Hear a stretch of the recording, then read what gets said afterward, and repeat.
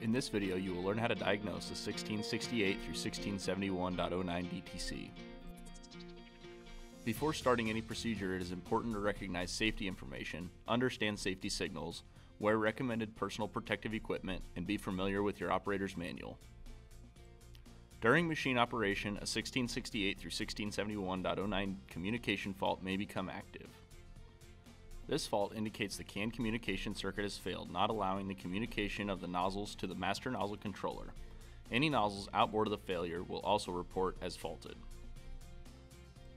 Navigate to the nozzle turret status page by tapping on the boom and scroll to identify the nozzles reporting the fault. This example shows nozzle 57 being the first to report the fault. We will need to focus our diagnostic efforts on this nozzle, 57, the next nozzle inboard, 56, and the harnessing in between 56 and 57. While most of the next steps could be performed using only a multimeter, it is recommended to utilize the JDG 11925 test box for the following tests. Note, the CAN high and low are in a passive series circuit, coming into the nozzle on pins 6 and 7 and going out to the next nozzle outboard on pin 2 and 3.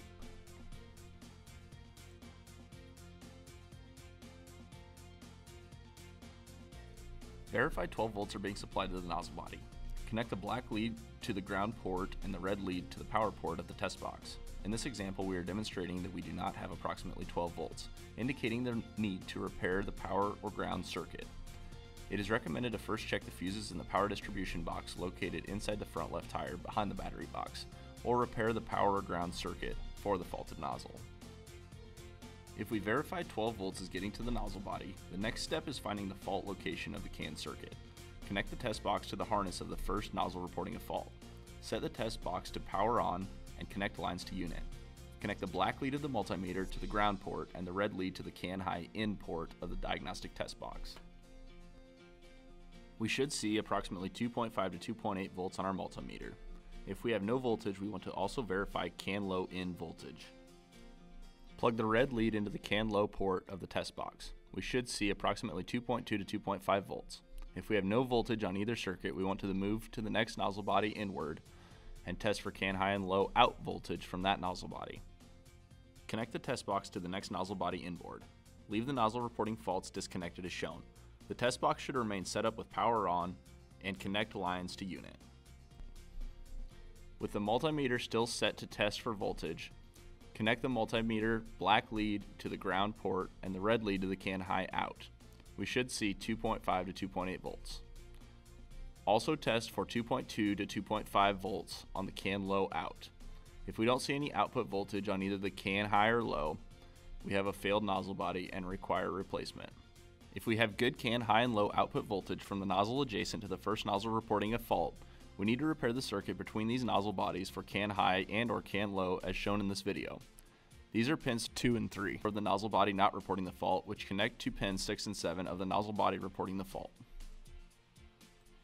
Going back to the first nozzle, if the CAN voltages on both high and low in circuits are good, we can easily validate if the issue is internal to the nozzle body. There are two methods to accomplish this test. Method 1 is to set the diagnostic test box to power off and bypass loopback. Cycle machine key power off and back on. Wait 2 minutes for faults to reappear. If the machine reports faults 16.11 and shows only one nozzle at the end of the subnet, replace the nozzle that is currently disconnected. The other method is to plug in a spare nozzle body and cycle machine key power off and back on. Wait 2 minutes. If no faults remain active, replace the nozzle that is disconnected. If the fault remains, repair the harness between the faulted nozzle and the next nozzle body inboard. This video has shown how to locate and diagnose MNA 16.09 diagnostic trouble codes. Thanks for watching.